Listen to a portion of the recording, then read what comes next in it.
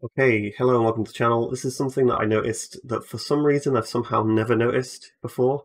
Um, an issue with nanite and lighting, basically. Um, hopefully this resolves the issue for anyone because I spent quite a while uh, trying to find out what the solution is here. And I so I imported this mesh here, and it is a nanite mesh. In fact, I'm just going to go to it in the, over here. It's a nanite mesh, and everything else is not a nanite mesh. Um, the material on it is actually a, a mid-grey, so we can see that it's well, it's coming through like there's lighting on it, um, even though I'm on unlit mode, which is very strange.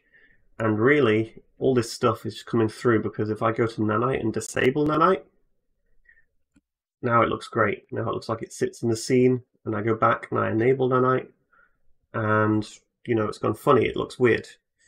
Um, so if you're having that issue, the first thing to realize is that it's your skylight. So if I just delete this skylight, we can see that without it, it actually nanite starts to look normal again. And this is my thought process and how I uh, finally figured out what the issue is. And again, I probably should have gotten there sooner, but you know, it's one of those little sneaky issues here. Um, basically, my skylight when I'm pulling it in, and in fact, I made the issue worse by turning on real-time capture, which for me was making it worse at the time and um, and changing my lower hemisphere up to a stylized color. Um, and upon doing that, like that's just made this 10 times worse. Um, so why is it looking, you know, it's actually making my water look pretty good, but it's but that's not looking very good.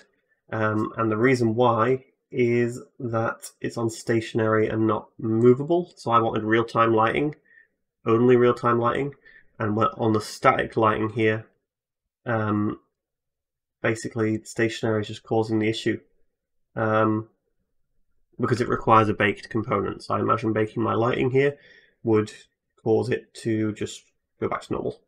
Um, and so the way around that actually, what we're going to have to do is, I should have done while setting up the project, is just go into, um, what's it called?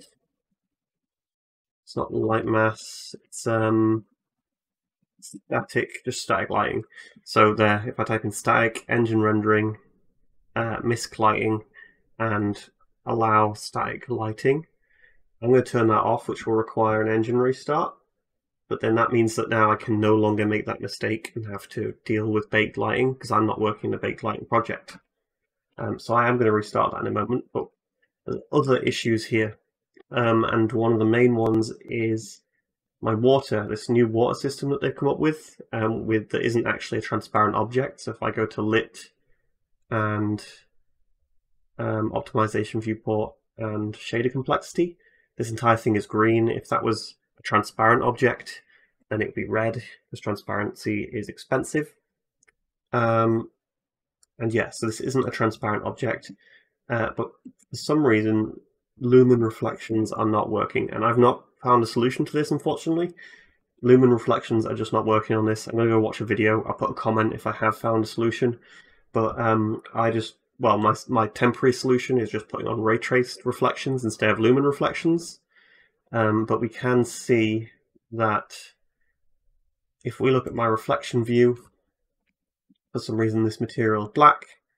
Um, but um, if I go into reflections in general, then everything apart from that plane is working. Um, so I have no idea why that reflections are not working on this uh, plane specifically. I mean, I, I, do, I do know it's to do with that new material type, but I don't know why it's not working. Um, so hopefully that solves one issue. And again, I'll, I'll update a comment if that other issue uh, gets resolved. So thanks for watching, and I'll see you next one.